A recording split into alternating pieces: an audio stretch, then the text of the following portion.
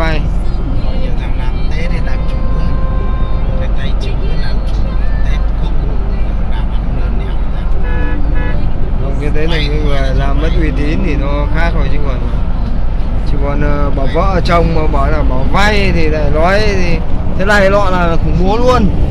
Đây anh bảo. Chứ còn ờ, nói bỏ vay thì không phải.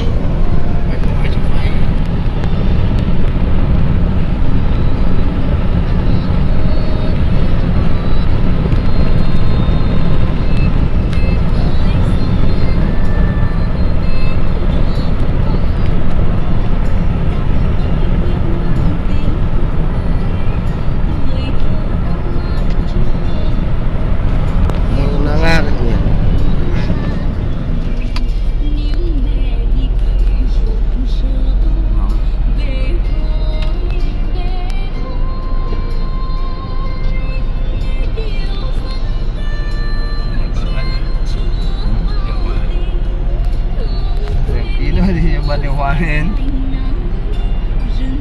Thì cái gió này như hơi cho nhỏ. Này. đấy, còn cho bên này nóng này. Bên này lạnh này.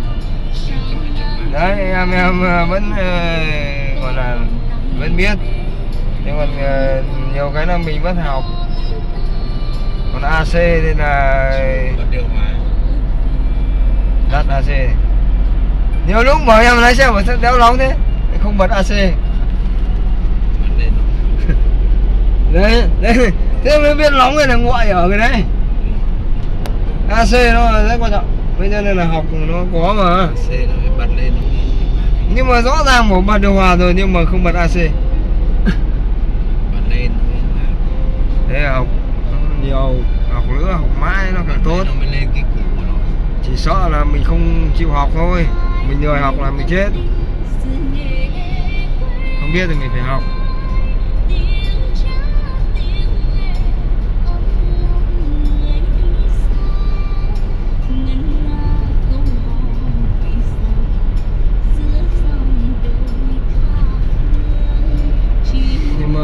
sống cuộc đời cứ như thế là là như bác là thực hiện là hết mốc rồi.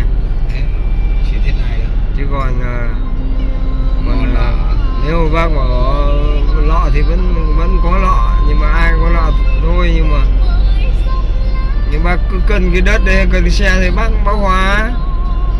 Nhưng mà là không được cái gì nữa. Đúng không? Bác bác cân hết thì nó lại bằng bằng không?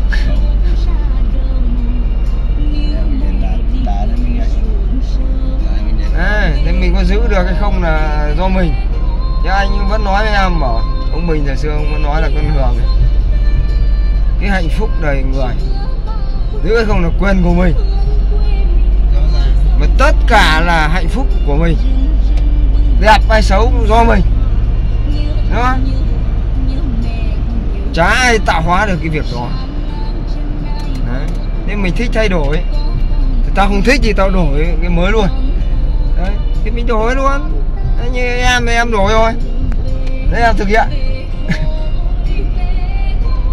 Mà mình đổi là đổi phá gái nguyên trinh chứ không phải là gái gái gái một con hay ba con. Đấy. Nên mình phải nói là được hay không em không biết.